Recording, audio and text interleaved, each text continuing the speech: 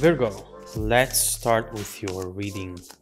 Today, we are going to look into the energies around you at the moment, and then we will take a look into the events coming up for you in the next few months. Let's start with your main energy. Your first message today is hold your vision. There is something right here that talks about not settling for less. A situation where perhaps at times you have put up with things just because you might have thought that was love, that was happiness. But you now realize that anything that makes you compromise your vision and anything that changes your initial expectations, it's probably not something worth fighting for, Virgo. The moment when you start wondering if you deserve better, you do. And saying yes to things and situations that are just half good, it's saying no to the ones that instead are going to be really good for you, 100%. And so, right here, the main message is to hold your vision even when it feels that it's taking you away from what you are looking for. So, let's see what this message is about, and let's start with your reading.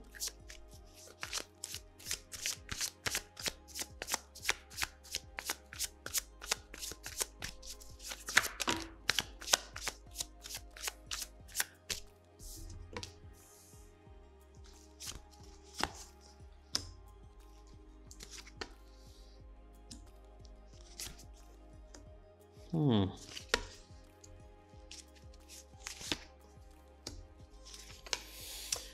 Oh my god, what's going on here, Virgo?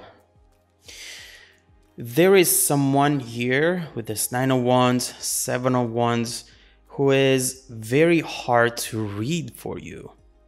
It feels like you have been getting mixed signals from this person. Whether you are with them or maybe just talking and seeing each other from time to time, there is something that you cannot fully understand. And it's making you somewhat confused as to what to expect from the situation overall. For some of you, you are dealing with someone who seems to show up mainly when they want something from you, Virgo. The Six of Pentacles reversed, I really don't like it. It talks about an unbalanced connection. A situation where one of the two is going out of their way to make things happen, to organize things, and to show affection, whereas the other one often acts very distant, never truly committing to anything, and often they change their energy around you. This nine of uh, wands person. It's someone who is definitely very protective of something and will need to see what that is going to be. But don't get me wrong, at times when they are present, they really seem to connect with you. It does feel special with this Two of Cups, but some other times instead, you might end up not hearing from this person for days or even spending time together, spending the night together while they are on their phone for the whole time. Something changes in their tone, in their behavior, and it just it just doesn't add up for you. Now, knowing you, Virgo, and knowing how much you can sometimes overthink certain situations, I'm already assuming that you might be thinking that this person has someone else or that you might not be enough for them, that something is making them drift away. But we need to regroup here, Virgo, because honestly, if this has resonated with you up to this point, we do need to talk. The only person you need to be good for is yourself, Virgo. And there has to come a time when you finally say enough already, when you hold your vision and you don't compromise it for anything or anyone. You need to understand that there is just so much that you can do. At the end of the day, a relationship or a potential one is made of two people, right? And if they are not doing their part, then why are you? Regardless of the fact that maybe this person has a inability to express feelings or perhaps they have a different love language, there must come a time when you realize that at your absolute best, you still will not be enough for the wrong person. And the opposite is true as well. At your worst, you will still be more than enough for the right person.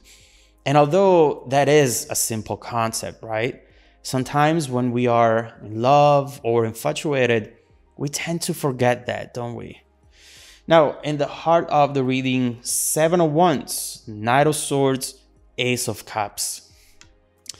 First of all, it's clear to me, Virgo, with this energy, especially with the Ace of Cups, that your heart is full of love. And I believe that a part of you at this moment in time is truly ready to find that special person, that special connection. You know, you also need to look into the context of this Ace of Cups. We all had a very rough year. A lot of our certainties have fallen down, and it's easy to see how, at this point, coming together and connecting with other people is more important than ever. But one thing is to find the right person, and another thing is seeing the right person in the wrong one. From what I see here so far, this feels to me as if you're wanting to see something in them that perhaps isn't there, or at least not at this time. And at the same time, you are failing to see something else, failing to see the truth. And the truth is that, Virgo, you don't need to settle. You don't need breadcrumbs. You don't need to feel as if this is your only opportunity for love. Not at all. That wasn't the case in the past when maybe you thought the same. And it's especially not the case in the present. Why? We'll see in a second. But before we get there, let's talk about opening and closing doors. When you say yes to someone, when you open the door for them, you are closing the door for someone else. Because at times you might think, eh, what is the what is the harm in having fun with this person from time to time? First of all, I don't think that you're looking for fun right now. And second of all, when you focus on them, you're not focusing on someone else who might be much better for you. And we'll see it right here in a second. Now, I see Knight of Swords and Seven of Swords. These are cards that truly talk about determination, having your vision and fighting for it. The Seven of Wands is reminding you, Virgo, that there is nothing wrong in creating boundaries. This is that time. This is the time where you start saying no to everything that just doesn't feel good. It doesn't mean if it's just like, ah, you know, it doesn't have to be perfect. I can maybe settle. No, no, no, no. Not right now, at least. This is an energy that it's telling you, Virgo, aim high, dream, dream big right now. Don't settle for less. It's very important right now. With the next few cards, we have the Wheel of Fortune, Page of Swords, and this Tower right here. Very important. The person that we were talking about the one that is good for you. It's not a hypothetical person. This is someone showing up here with a page of swords, very shy energy, just right here on the side, spying on the rest of the reading. And in a way, that's exactly what's happening here. Someone who has their eyes on you, who actually really, really likes you. Someone who maybe spends way too much time looking at your pictures watching videos of you, if you have any online. Someone who adores you no matter what you look like that day, no matter what you wear, no conditions at all. And this is beautiful. This is someone who would feel lucky, the wheel of fortune, to be able to spend time with you, to do anything with you. Doesn't it sound different from the initial person? And perhaps you have no idea who I'm talking about. Because right now, your frequency is only vibrating with the people who perhaps are hard to read, even if just subconsciously. You know, sometimes we are guilty of focusing only on the people who come with some sort of mystery, right? I've done that in my past as well, where I would give a lot of attention to the people who maybe played games and not enough attention to the ones who were transparent and who were worthy. And you should know that in order to change that frequency, you need to change your perception and start saying, you know what? You might be charming, you might be beautiful, but beauty fades. And if you make me feel as if I'm just an option to you, then I won't make you my priority anymore. Say it, believe it, Virgo, because it's true. And I see here that you are on your way to change the situation completely. The Wheel of Fortune, transformation, something within you. I feel that you have no more patience, you know? You just do not want to waste your time anymore with these situations, with these type of people. And it's good. Sometimes we do need to hit rock bottom in order to truly understand what we need to change. And clearly, here, an opportunity comes up, something that I can already tell you is going to place you on a new path with this Page of Swords person, especially, and something that will cause a tower moment with the previous person instead. What is this going to be about? We need to clarify. And so let's do that. Let's see, just out of curiosity, what is really going on with the previous person. Is that someone who's just not capable to love or someone who's having hard time communicating their feelings? And then let's look into this page of swords instead. Who is someone around you already? Hmm. Let's see if they are going to make a move and how this overall situation is bound to evolve, especially in the next four weeks. If you want to dive deeper into the messages, Virgo, just follow me in the extended reading link below in the description box. Also, don't forget that every single week, I randomly select viewers who have watched the extended video to offer them a 100% free personal 30 minute live reading.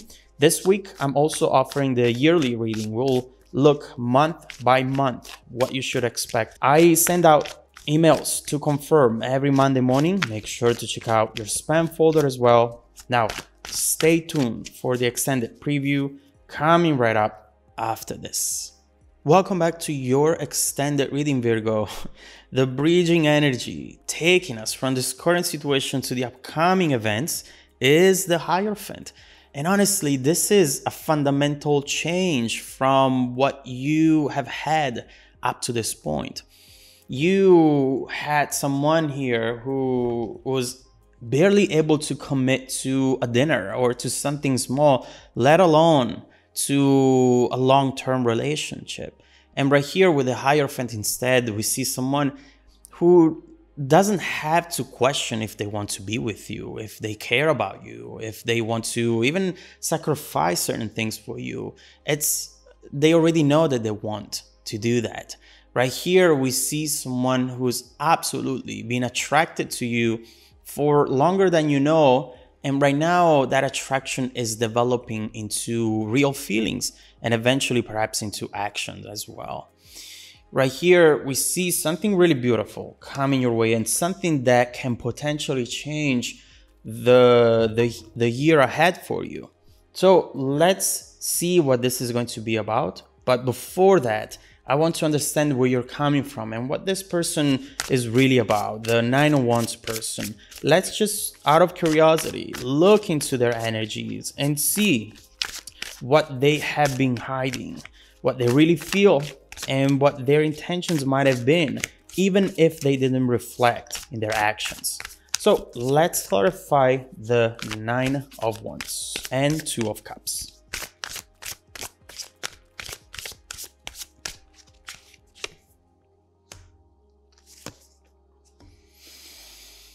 What?